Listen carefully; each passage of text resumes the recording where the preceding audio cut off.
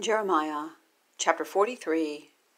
And it came to pass that when Jeremiah had made an end of speaking unto all the people all the words of the Lord their God, for which the Lord their God had sent him to them, even all these words,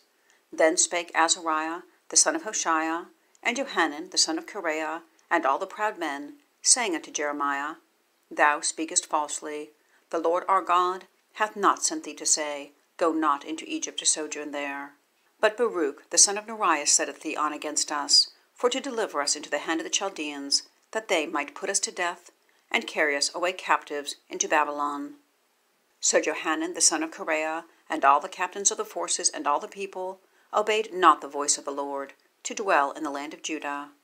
But Johanan the son of Kareah, and all the captains of the forces, took all the remnant of Judah that were returned from all nations whither they had been driven, to dwell in the land of Judah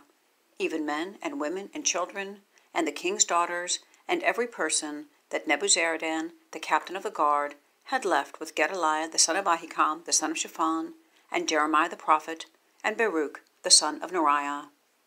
So they came into the land of Egypt, for they obeyed not the voice of the Lord. Thus came they even to Tahpanhes.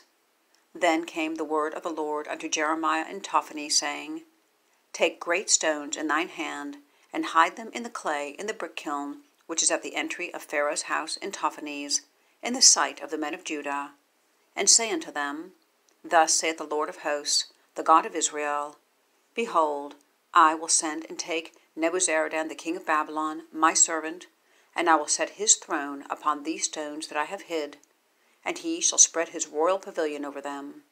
And when he cometh, he shall smite the land of Egypt, and deliver such as are for death to death, and such as are for captivity to captivity, and such as are for the sword to the sword.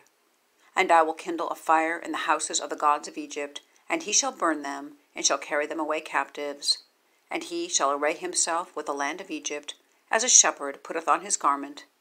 and he shall go forth from thence in peace.